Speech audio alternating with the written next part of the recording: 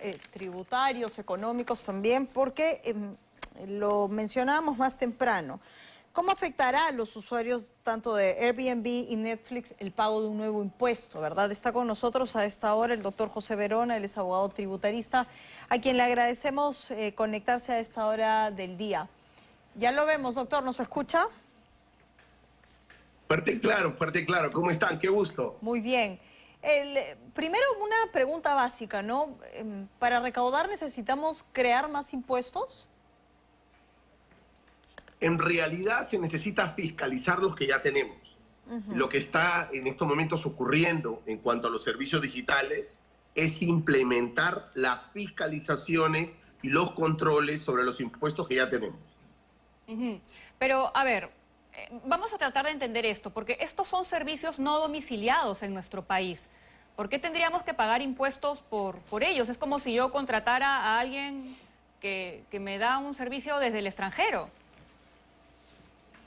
En realidad son servicios que se dan dentro del país por un no domiciliado. Es una cosa totalmente diferente. Cuando hablamos de un servicio de un no domiciliado, hablamos que José Verona, que es ciudadano italiano, viene a Perú y me da un servicio en Perú.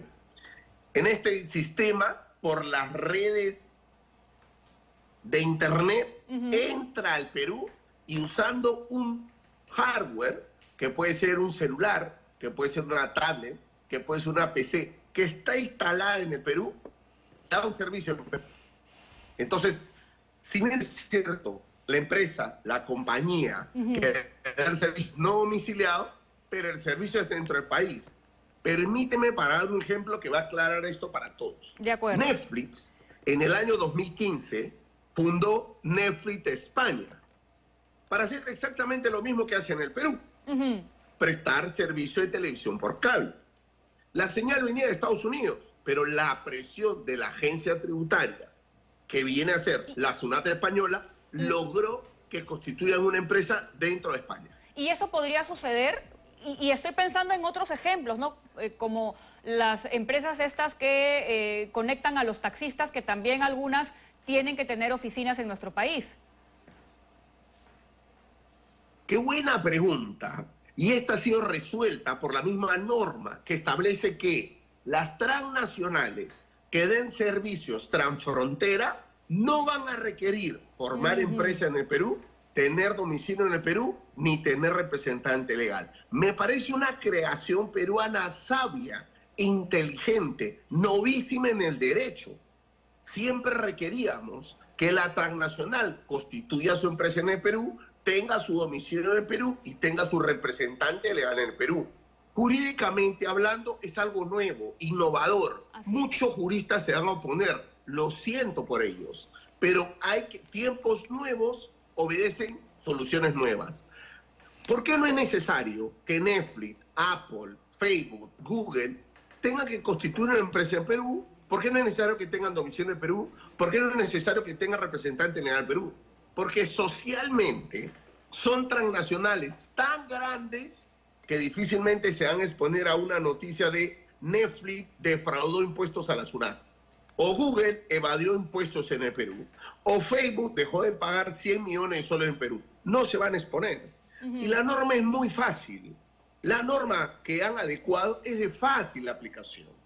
Es más, no tienen por qué subir el precio, tienen la libertad de subir los precios de, de HBO, de Prime, de mm, Netflix. Pueden subir los precios si quisieran porque estamos en una economía de libre mercado. Pero la norma no genera aumento de precio. José, estamos hablando de un usuario que paga impuestos en el Perú. Pero ¿qué pasa si ese usuario, y me pongo en el, lugar de los que gestionan Airbnb, ¿no? No vive en el Perú, pero el predio está en Perú. ¿También tiene que pagar impuestos? Mm. Cuando te refieres a Airbnb, ¿te refieres al propietario Exacto. o al que gestiona?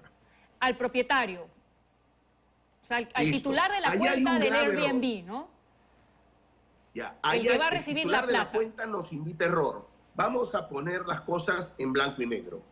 Airbnb, titular de la cuenta Airbnb, propietario. El propietario que hace publicidad en Airbnb nunca está haciendo actividad inmobiliaria. Y allá hay un grave error del ministro de Economía, José Arista, que tiene que enmendarlo. Él no puede decir que una persona que tenga tres, cuatro, cinco inmuebles y los alquila hace actividad inmobiliaria. Error. La locatio, que viene del derecho latín, que en el Perú se le conoce como contrato de arrendamiento, su naturaleza jurídica son propietarios inmobiliarios que ceden la posesión temporal de su inmueble. Eso nunca va a ser una actividad comercial, no puede estar sujeto a habitualidad. Lo que está sujeto a habitualidad, y de ahí en esta segunda parte, si le doy toda la razón al ministro socialista, es cuando una persona abre una cuenta en Airbnb, se dedica a captar personas con inmuebles para alquilarlos y gana una comisión. Esa persona hace intermediación mercantil. Esa y tiene persona. que facturar, tiene que pagar IGB impuesto. Esa es la que paga el impuesto, entonces, la que gestiona la cuenta. Voy a aclararlo. No, no voy a caer en textos de cómo tiene la cuenta, gestiona la cuenta, sino voy a ser bien preciso. Aquella que hace intermediación mercantil, quiere decir, busco propietarios, busco inquilinos y los junto.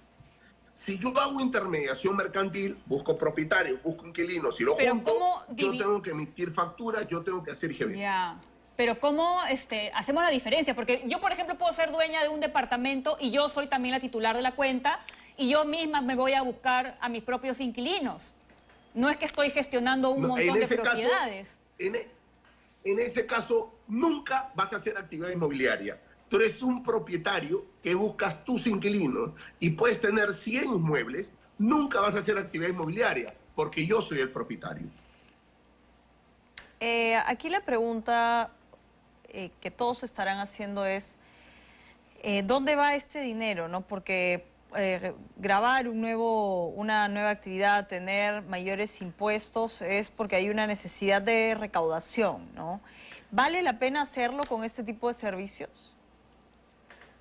Qué buena pregunta. No es un nuevo impuesto. La necesidad de recaudar impuestos la tenemos en la falta de infraestructura.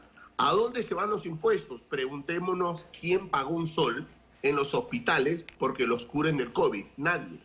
La atención de centros de salud, hospitales, médicos y medicina fue gratuita a todas las personas. ¿De dónde se paga? Con los impuestos de los formales, que somos el 18% de las personas que hacen negocios.